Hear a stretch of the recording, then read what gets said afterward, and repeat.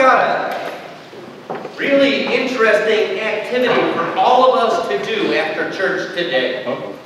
Are you interested? Yeah. It'll only take just a little bit of time. We're all going to go down to the Kansas River and we're going to cross it on dry ground.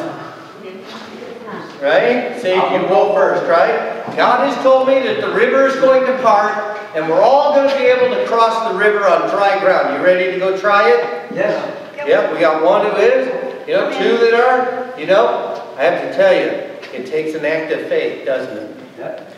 Remember, I've always told you that the Red Sea did not part until the first Hebrew got his foot wet.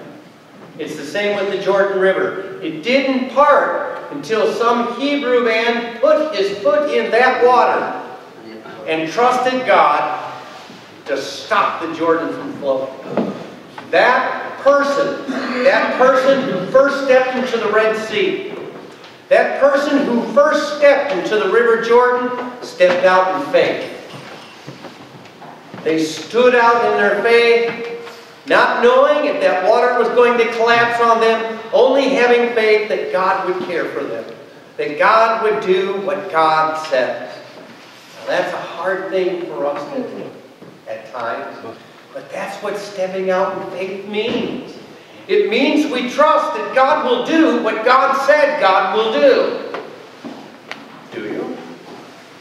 Do you always believe that God will do what God said God will do? That's pretty tough. Standing out in faith can be a scary thing at times.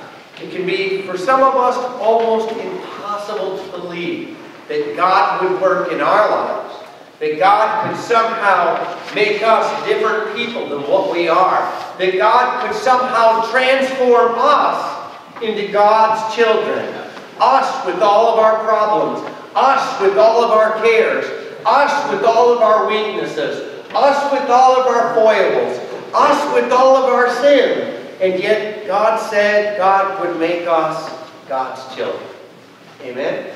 Amen. God said that He would be with us always, that God would never depart. And lo, I am with you always, even to the end of the age. Will God do what God said? Yes. Will Jesus fulfill His own words?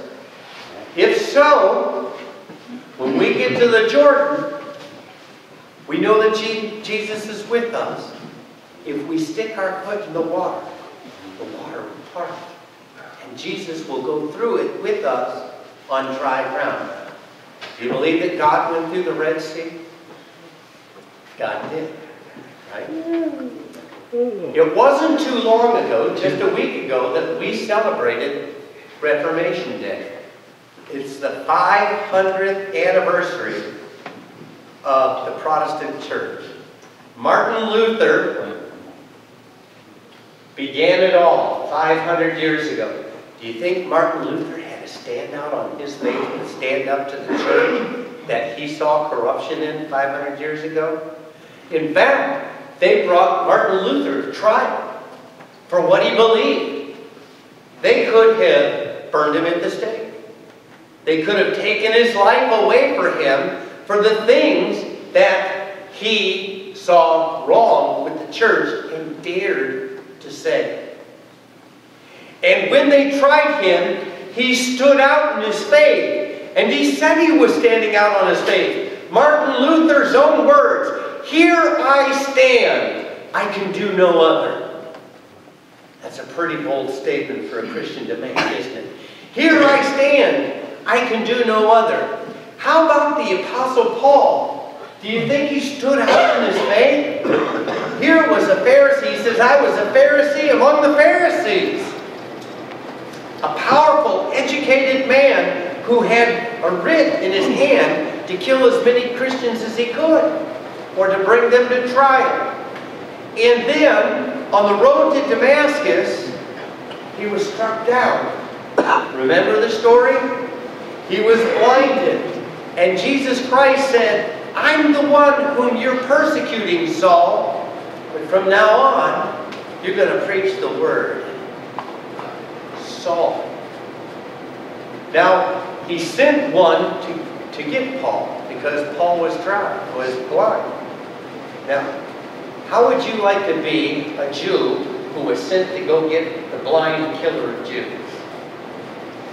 This guy who was known for his viciousness in attacking the early church. Stand out on your faith and you say, God, I will go. I will go. I'll do where you. It's dangerous. It's dangerous. But I'm going to go. And then Paul, with the reputation he had, do you, is there anyone here who thinks your reputation in the community is worse than what Paul's was among the Christians? Even with a bad reputation, Paul stood out in his faith. He stood out there. And he said, I'll do it. Jesus, I'll go where you send me. I'll preach to whom you send me. And we know Paul traveled a lot. He went to a lot of different cities. He converted a lot of different people. He witnessed to people who wanted him dead. But still, he went, didn't he? I followed a lot of preachers into churches. Preachers who had big shoes that I didn't think I could fill. Preachers who were older than me, wiser than me, especially if you can imagine me preaching at 21 years old, my first church. Following a very beloved, loved pastor in this church. Can you imagine Joshua following Moses? You think Moses had some pretty big sandals? Joshua's first job. Oh, my microphone, you want me to turn it on? Can you hear me? Now you can hear me better. Joshua's first job in filling Moses' sandals was to take people across a river that was supposed to dry up. Not only did he the big sandals, but he did a big task. I wouldn't want to follow the Reverend Moses into his church. That would be a tough church to. And yet he stood up, Joshua stood up, and he walked his faith. He did what he was supposed to be. So here's the thing about standing out in faith. You have to be courageous, don't you? You have to be courageous to live your faith in a world that is increasingly against you living your faith. In a world that we, we know that in other parts of this world, Christians are being martyred still to this day. They're being killed for their faith. Egypt is a good place to, to, to look at to see Coptic Christians who are being martyred for their faith. Are they giving up their faith? No, they're standing out in their faith and they're trusting God. And the Coptic Christian Church continues in Egypt because those people are willing to step out in their faith and they're going to be courageous in following God. Courageous, not timid, Sometimes I think we get apologetic that we're, that we're people of faith. Sometimes we don't mean to impose upon you, but we're the Christian church and we'd like to tell you about Jesus. How is that different from the hymn, We the story to tell to? We have a large responsibility to witness our faith. We've talked about it the last two weeks. That means we have to be courageous enough to stand out in our faith, to be a Christian around our neighbors. Now there will be some who looked at you before you became a Christian, and they will go, you know that Mickey, I know what she's like. I remember what she was like. But you're different now because God's renewed you in Christ Jesus. Amen? We are all were somebody before we knew Jesus. And that someone may not have been very pretty. We may have been basically good, and Jesus rounded that off. But some of us may have walked a different path, far from God. But there's no limit to where God's grace can reach. God will go to the farthest distance to touch your heart and bring you God's realm. God's love will reach out and change who we are, no matter what our past was, no matter what it was. God loves us enough to make us God's children. And all we have to do is stand out in faith and take it. And take it. Our church in this community needs to be a courageous church. Our church needs to be courageous as it's never been create, uh, uh, courageous before. We need to continue to open our doors. We need to continue to reach out to even the people that we're missing in this community. We need as a church, as a congregation, to stand out in our faith, to make the votes that we need to make, to extend the ministry of this church to even more and more people. We just have a message. God loves you. God wants you as a child. And we want you to be bold enough to say yes. Just to say yes. And it helps if it shows that we've said yes. It helps if we're create, uh, courageous enough to step out and live in our faith. We have the testimony of the saints this day. Think of the saints, those who have been martyred, those who were in the Colosseum, who were martyred for their faith, those who were persecuted by the other churches, the other religions that were around at that time, the Roman pagan religions, the Jewish people, who finally said to the Christians, you can no longer worship in our synagogues. The Gentile populations, when Paul went out, that, uh, that uh, did not necessarily want the Christian church to prosper. The story of the saints is their courageousness.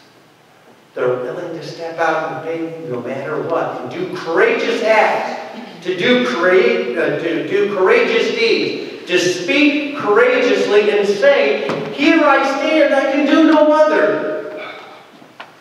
I'm a Christian. And I don't care if you like it or don't. Amen. I'm a Christian. If you take the Lord's name in front of me, I don't care if it's in the middle of Crown Center, I'm going to call you down it. If you hurt one of my neighbors, I'm going to witness to you. Believe me, I'm going to witness to you. I'm going to be a Christian in public, not just in the pews, not just in the pulpit. I'm going to be a Christian in my neighborhood. I'm going to be a Christian. It's easy for me to be a Christian on the job. You all kind of expect that. But you need to be a Christian on the job too, yes? You need to be a Christian in your family, everywhere you go, in Walmart. Be, I can't think of a better place to be a Christian than during this Christmas shopping season. I remember last year, Vicki tried to pull into a space and this truck nosed in first. He cussed her. Oh, did he cuss her.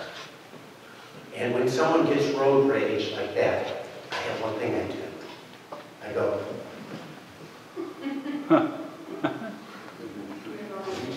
You may not know what I'm saying, but you know what this means, right? We have to do it. We have to be courageous in every situation to be Christian, to reflect the Lord that we worship. What kind of saint will you be this day? What kind of saint will you be this week? Will you be the saint that's courageous enough to stand out on your faith that others will see Christ in you and the grace of God that works through you will woo others to God's family. It will bring others to the community of Christ. That's what remembering the saints is all about. Their courageousness, their willingness to stand up. If you had lost two churches to a flood, would you build a third? Yeah.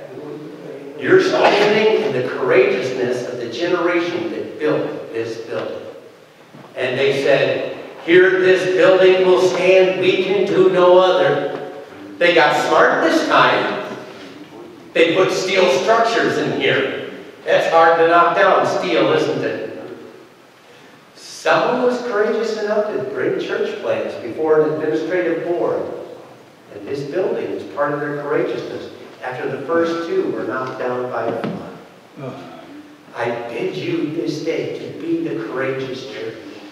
you be the saints who in this community stand out for your faith, stand out and live it, stand out and speak it, stand out and be it. In Jesus' name, amen.